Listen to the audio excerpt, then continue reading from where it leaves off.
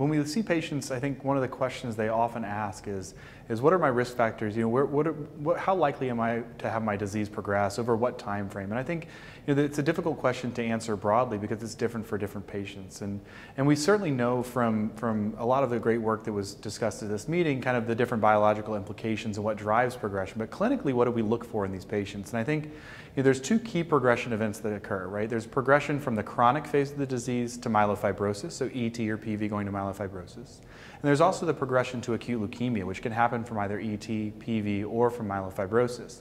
And I, I look at those as very separate events, right? I, to me, to some extent, the progression to myelofibrosis is a natural history of the disease. You get this ongoing persistent inflammation that ultimately leads to a more inhospitable bone marrow environment, increase in scar tissue fibrosis, inflammation, and ultimately that's what we get with myelofibrosis. Now, some patients get that after ET or PV. Some patients present with primary myelofibrosis. But when we look at patients that, that go from having ET or PV to myelofibrosis, what we often see is it, it's a change in the allele fraction of the driver mutation, or it's just duration of disease. And so when the studies have looked at this, we do often see, at least from ET to PV, you're seeing an increase in the allele fraction. So the JAK2 mutation per se is going from 15% to 25 or 20 to 40.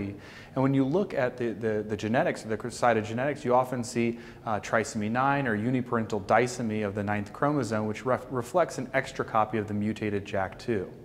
Now, when you see progression to myelofibrosis, you know, I mentioned that it has to do with the JAK2 allele fraction, but it's not necessarily a change in that number. It's people that start with a high JAK2 allele fraction. So it's those people that have a high burden of disease, increased inflammatory signaling that's likely to, to contribute to that disease progression. Oftentimes studies don't necessarily show that, maybe because they didn't look at that, especially older studies that didn't look so much at JAK2 allele fractions. But what we, what we see consistently is a trend towards higher white blood cell counts or leukocytosis. And that seems to very nicely correlate with JAK2 allele burden. So it may just be a surrogate for the, surrogate for the underlying genetics of the disease.